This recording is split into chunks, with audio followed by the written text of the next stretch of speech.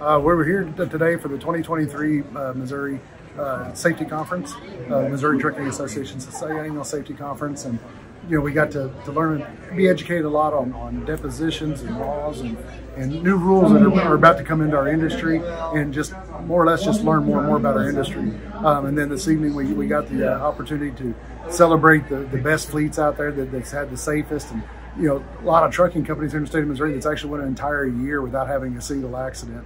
And then, of course, the, the, the greatest moment of the night, which I was fortunate enough to be a part of, we, we got to, to meet all the drivers of the month throughout the year. Um, we got to, to meet an awesome gentleman, the one driver of the year, and uh, and even our, our, our, very own Stan Key one safety director of the year. So uh, good year for, for the state of Missouri, good year for Prime, and I was just proud and honored to be here to represent. This evening we're at the Missouri Trucking Association's annual safety banquet. We've honored drivers who have um, been out there hauling our freight, supporting our nation.